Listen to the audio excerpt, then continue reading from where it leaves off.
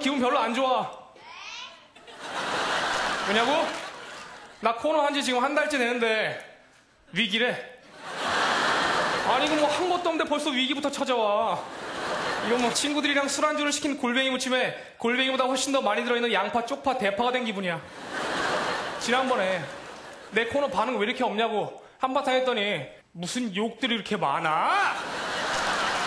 그 나에 대한 안 좋은 글을 썼던 사람들 아이디랑 이름 명단 적어왔어.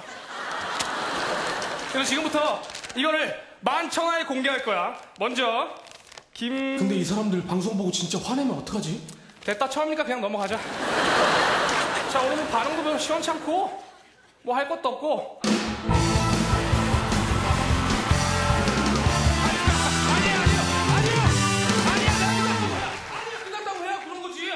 아니 할 거 많아. 왜? 이태석 밴드가 기타 치면 끝나는 그런 법이라도 있나? 아니야, 나안 끝났어. 내가 끝나야 끝난 거야.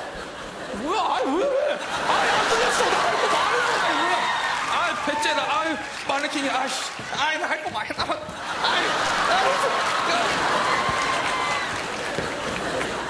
아 정말. 아 한마디만 하고 한마디만 하고 한마디만. 아 창피하게 진짜.